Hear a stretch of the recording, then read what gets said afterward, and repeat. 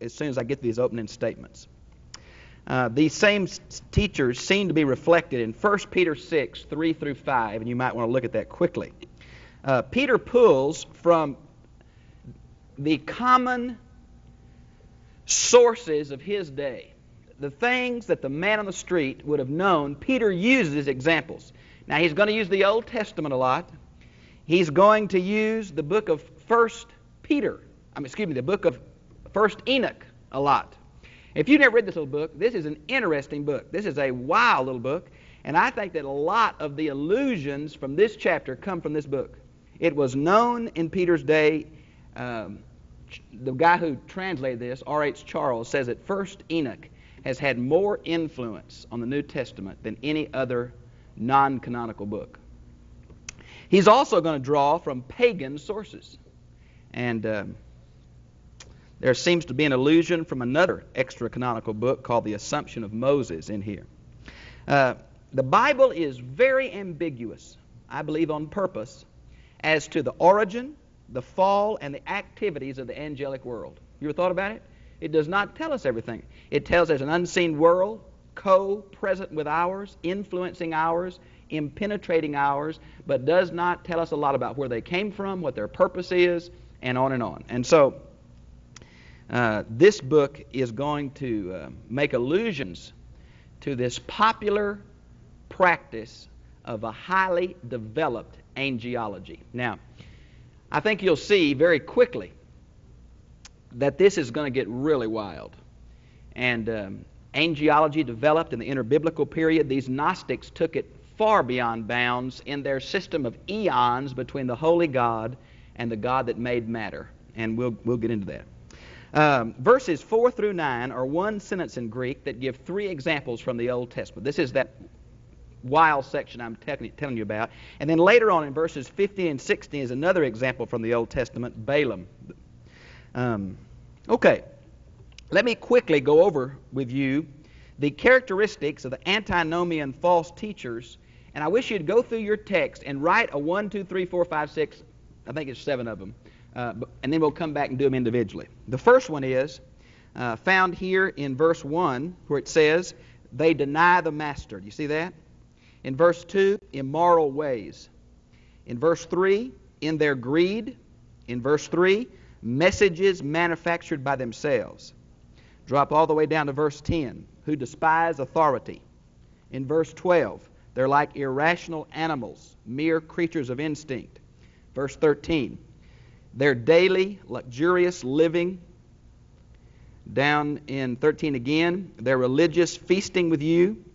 And 14, they practice enticing unsteady souls. And in 19, they promise freedom, but they are slaves to destruction themselves. Now, those are the characteristics of these false teachers that we'll get into one at a time as we go through here. Okay, let's begin 2 Peter 2, verse 1. Now, there are false prophets among the people now, this goes back to chapter 1, verses 19 through 21, that talks about true prophets. There are true prophets, but if you've read the Old Testament, there are obviously false prophets. Now, we're talking about the Jewish people here. Just as there'll be false teachers among you, too. There's the Gentile Christians, okay? Uh, who will insidiously introduce destructive heresies. Now, this term insidiously introduce, the Greek means to sneak in alongside of. Now, heresy always comes from inside the church. Heresy is always a mixture of truth and error. Usually, it is the, the lifting up of one doctrine to the exclusion of other doctrines, or it's a per- slight perversion of a true doctrine. Now, I think we see that all around us. These men are trying to sneak in these slightly different attitudes. They've changed the melody just slightly and trying to sneak it in to the community. Now, you may have in your translation the word and, but I think the word even should be there. Even deny the master. Now, one or two things are possible. These are Gnostics, which means they would, uh, they would affirm the spirituality of Jesus, but would would have great reservation about his humanity. So they would deny something of the fullness of Jesus as far as human and divine. Or maybe they deny the master by the way that they live because they are going to be grossly immoral people. And so either it's a theological denial or a practical denial. And which it is, I'm not real certain. The master who has bought them. Now we're going to get into a real hair pool, and I mean that, over are these false teachers Christians or not? Were they ever Christians or not? Did they fall from a state of being Christians? Or, or were they never Christians? Well, here some say says the master who bought them, that must mean they're Christians. But I there I really have problems with that because there are many passages in the Bible that say that Jesus died for all men. Let me give you a couple if I could. Um, Hebrews 2.19, 1 Timothy 2.6, 1 John 2.2. So I think he died for all men, and I'm not sure we can use this. Now, the word bought is aorist tense, once and for all, and it's from an Old Testament background that meant to purchase back a slave or purchase back a prisoner of war. And the background is the near kinsman. We call him the Goel. The book of Ruth, Boaz was a near kinsman to Ruth. And that's the, that's the background of this. Now, uh, thus bring on themselves swift destruction. Now, this is temporal judgment. Have you ever heard of the English word Apollyon? It means destruction. That's, that comes from this word right here. Many people will follow their immoral ways. Now, these are people claim to be Christians, uh, but are using their Christianity as a license. Now, you might want to see verses 10, 14, and 18 that show some of these immoral ways. And because of them, the true way will be abused. Now, the word the true way, my little word way, is capitalized in my Bible. Is it yours? This was the early title for the church. Before the, the church was called Christians, it was called the Way. Let me give you a few references. Acts 9:2, Acts 18 25 and 26, Acts 19 9 and 23, Acts 22 4, Acts 24 14, and 22. The Way. It goes back to the Old Testament that the life of faith is a life within God given bounds. It is a life down the well worn path of God's revelation. And that's what the way, the well worn path of revealed truth. The Christian life is a lifestyle. Now it says we'll be abused. Remember, the early Christians were accused of several things. They were accused of incest, they were accused of cannibalism, they were accused of, of immorality, they were accused of treason, they were accused of atheism, now, the lives of these false teachers are adding to that misunderstanding. They are, they are living very immoral pagan lives, but claiming to be Christian, and therefore adding to these charges of immorality and misunderstanding that the early church had to deal with. Now, in verse 3, it says, In their greed. Now, there are several of the passages. Paul was very nervous about ever taking money for his teaching because many Greek philosophical people would travel around and teach for money. And Paul was always nervous about that. Let me give you a few references. Micah chapter 3 verse 11 is an Old Testament reference. And then 1 Peter 6 5 and Titus 1:11 talks about people who teach just for money. And these people were doing that. They will exploit you. Now, King James has make merchandise of you.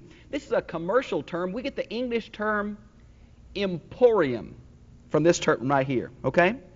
With messages manufactured by themselves. Now, this is the message I think about these eons. There's a holy God who is Holy Spirit and cannot touch matter because matter and spirit are antithetical in Gnostic systems. So, between the holy God and the God who made the world, Yahweh, there was a lot of series of lesser gods until we got far enough away from the holy God for some God to touch matter. Jesus is one of these eons, maybe the highest or somewhere in the series.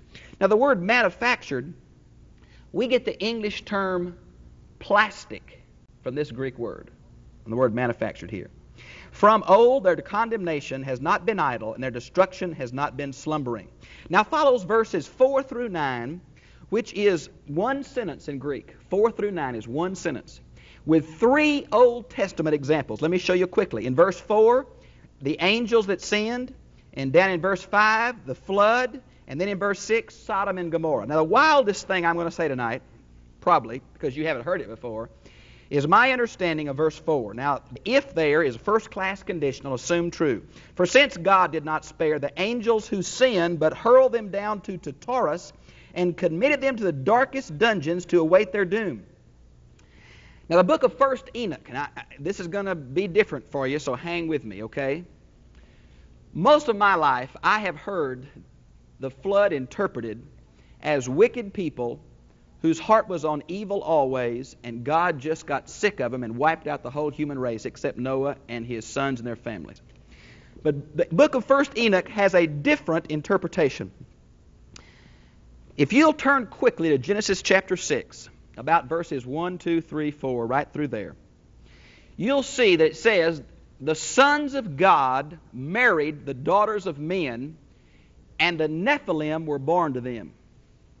Now, that same thing is referred to in Jude chapter 6. Angels that kept not their proper state were condemned to Tartarus.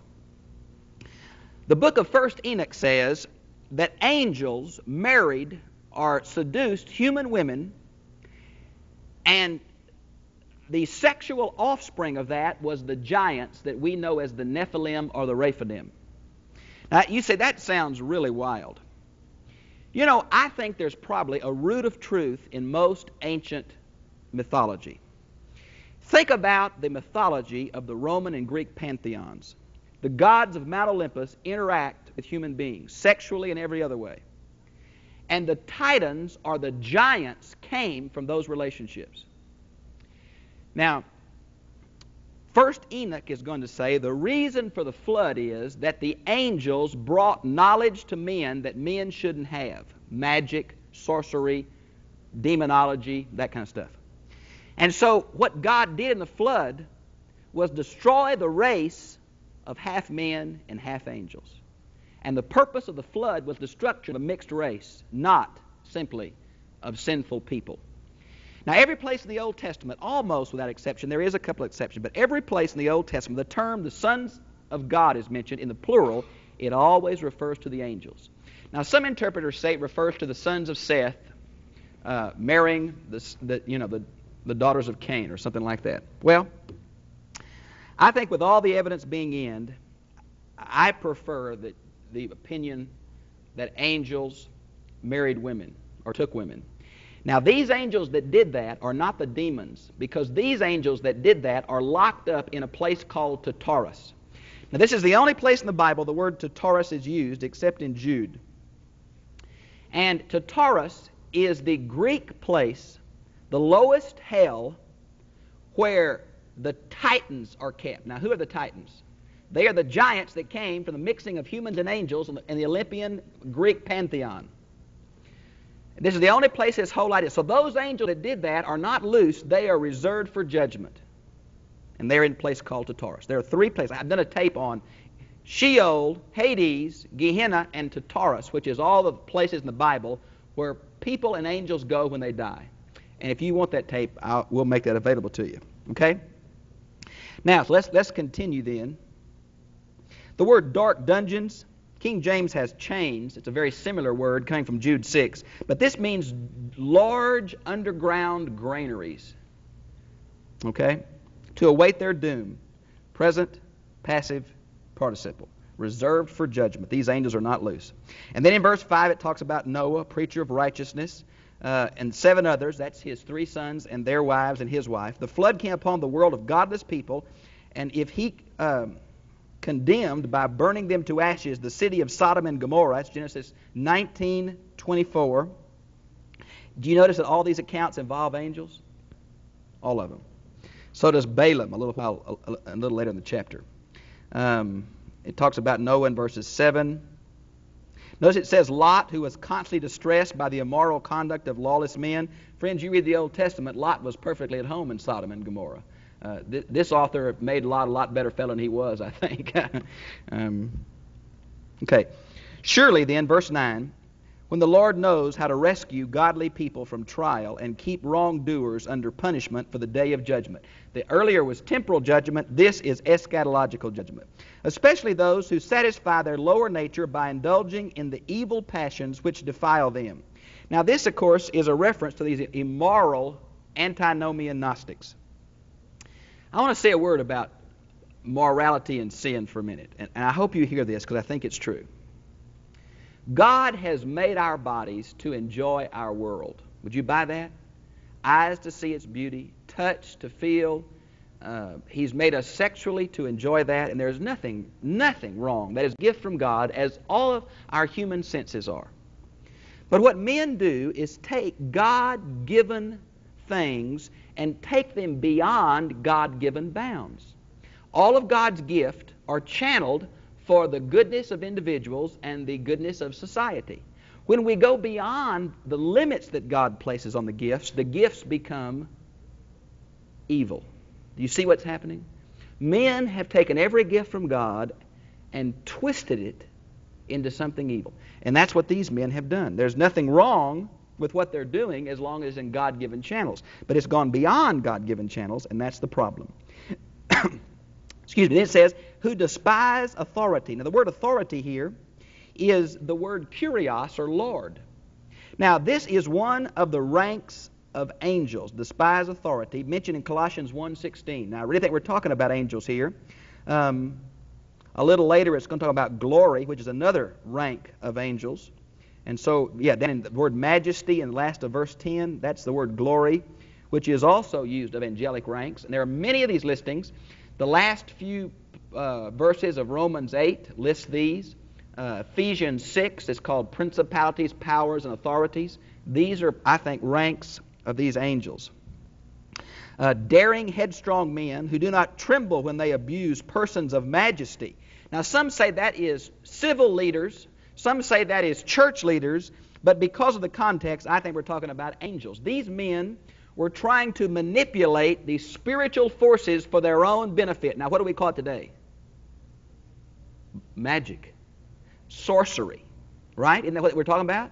That is, we're trying to manipulate the spiritual powers through magical words or names to do our bidding. That's what these guys are trying to do with angels. Uh, whereas angels, who are far superior in strength and power than these beings, bring no abusive accusation against them before the Lord. Now, this refers to Jude 8 and 9, where Michael, in fighting, this is going to sound really weird to you, but you can look it up. Michael was fighting with Satan over the body of Moses. Remember, Moses was died on Mount Nebo, but nobody buried him. They don't know where his grave is. Well, in a little book called The Assumption of Moses, Satan and Michael, the archangel, the, nation of, the angel of the nation of Israel, from the book of Daniel, are fighting over Moses' body. And Michael refuses to bring a railing accusation against Satan, but lets the Lord do it. And that's the illusion here. If you'll read uh, Jude 8 and 9, you'll see that full illusion there. Verse 12. These re- men are like irrational animals, mere creatures of instinct. I want to tell you what, some of the some of the movies I see advertised today, some of the books I see as I walk through the grocery store are nothing more than human beings on an animal level. Letting any instinct, any passion, any desire run rampant without mental control is what we're talking about. Whatever it might be. Created to be taught and killed. They, they blaspheme the things they do not understand, and so by their corruption they'll be destroyed, suffering wrong as a punishment for their wrongdoing. They think uh, their daily luxurious living real pleasure. Now, New American Standard has they're living, they're, they're uh, sinning in the daytime. Now, what these, I think what the illusion here is, these people have become so flagrant that they're doing in the light what most people do in the dark. Um, they're not trying to cover up their actions anymore. They're willing for everybody to know what they do, and they're doing it in the light. They are spots and blots, deceitfully living in luxurious pleasure while they continue their religious feasting with you.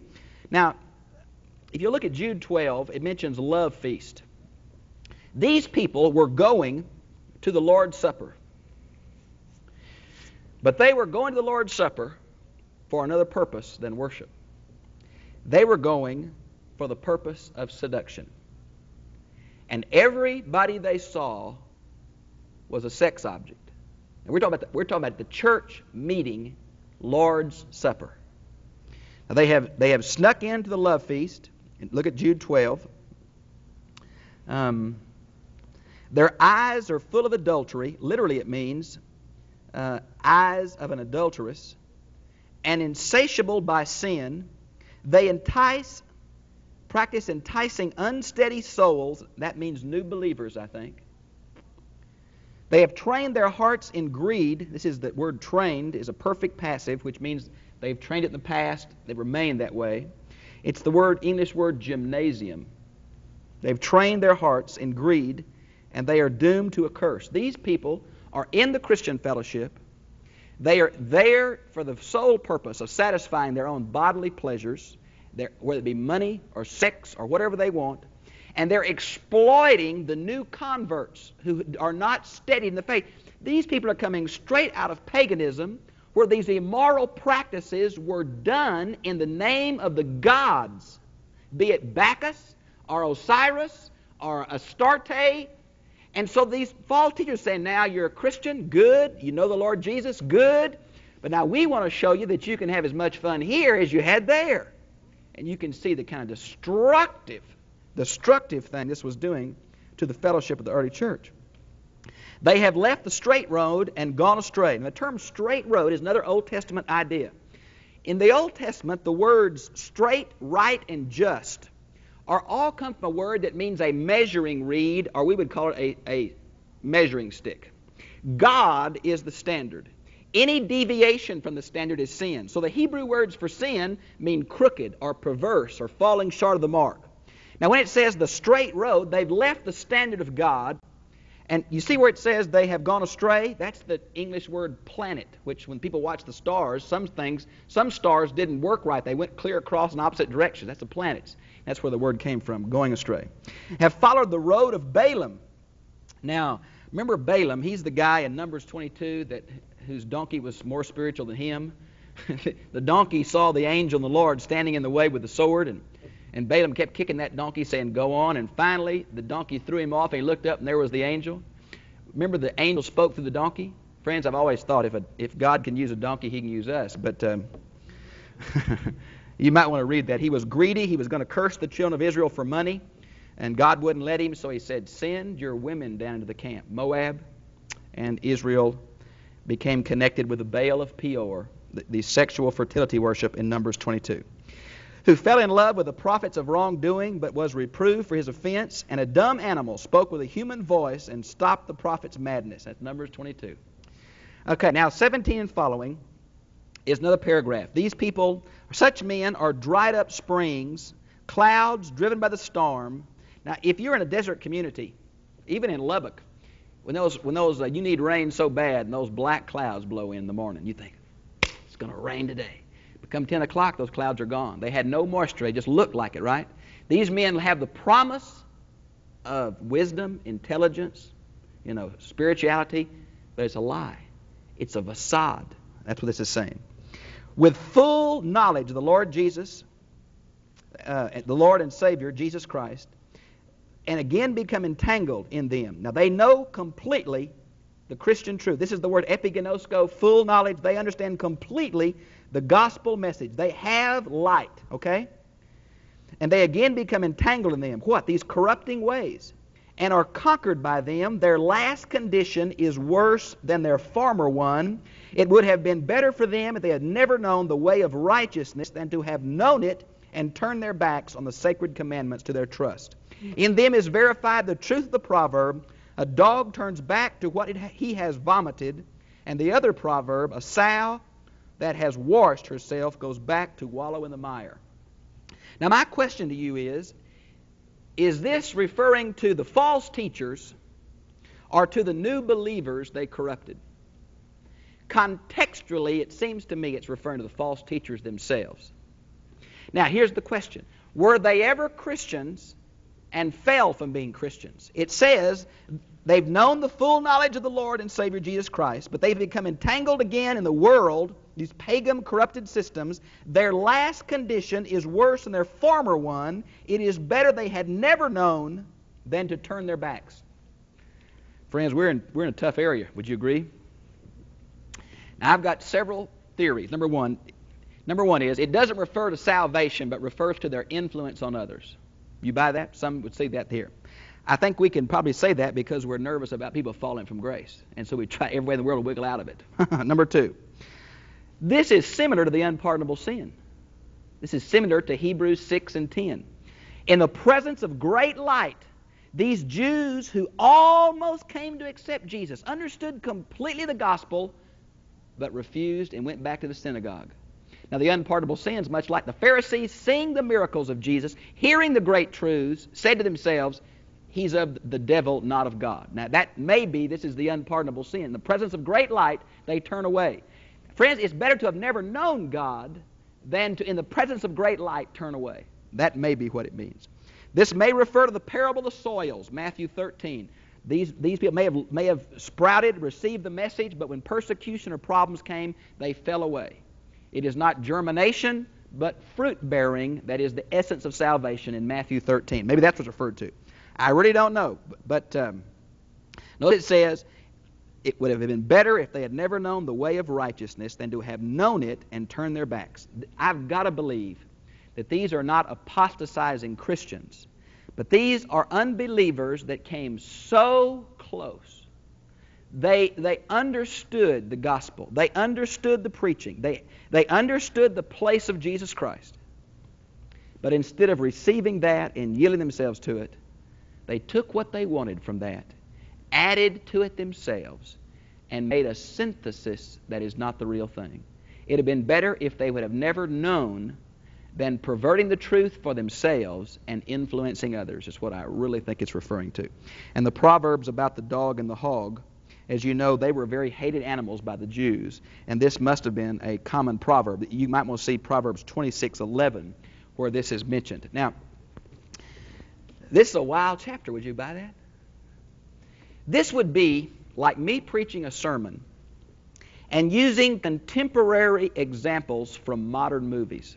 Like, what if I wanted to preach on God and use the Star Wars, The Force will always be with you? Now, you understand immediately what I was talking about because that's just a popular movie in our culture, right? I'm not giving that movie divine authority by using it as an example. I'm just quoting something that everybody in my culture would understand. That's what Peter's doing. He's not giving first Enoch divine authority. He's just saying, You all know this, and he uses this as an example. The illustrations here are what cause people so much problems because it deals with this area that we're all curious of, but we're not certain of, and that is how do the angels, where do they come from? What are they doing? How do they interrelate to us? How can we control them? Friends, don't let your curiosity go beyond what God has revealed to us in His book. The angels are not a source for us to go to, to pray to. They are an influence in our life. I think all believers have guardian angels. I believe angels were involved in Jesus' life. But it's not a subject that God chose to reveal to us. Therefore, we affirm its truth, but we do not get involved in the intricacies or theories that these folks did involving the angels.